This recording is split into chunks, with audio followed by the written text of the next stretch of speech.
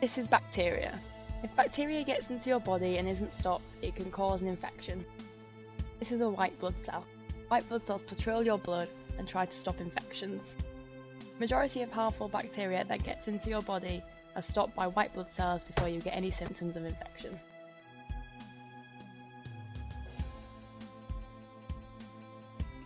Sometimes bacteria can overwhelm the white blood cells.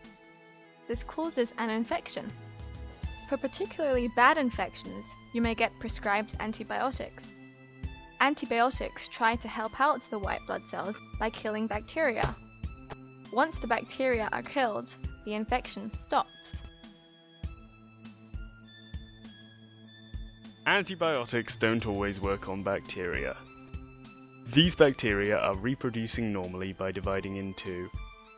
Occasionally when a bacteria divides in two, it mutates and becomes much harder to kill with antibiotics. These tougher bacteria are called resistant bacteria.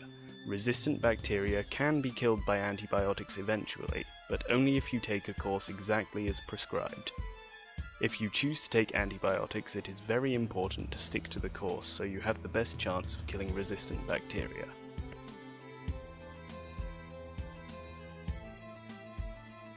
Many infections, such as the common cold, are caused by viruses. Viruses are very different to bacteria and they are completely unaffected by antibiotics.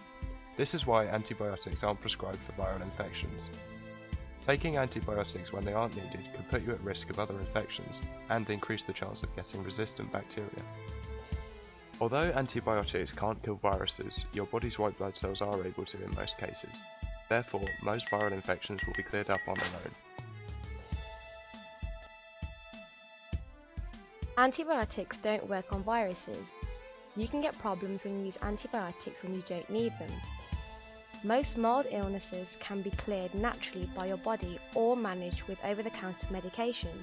Your doctor can give you advice as to when antibiotics will be necessary for you.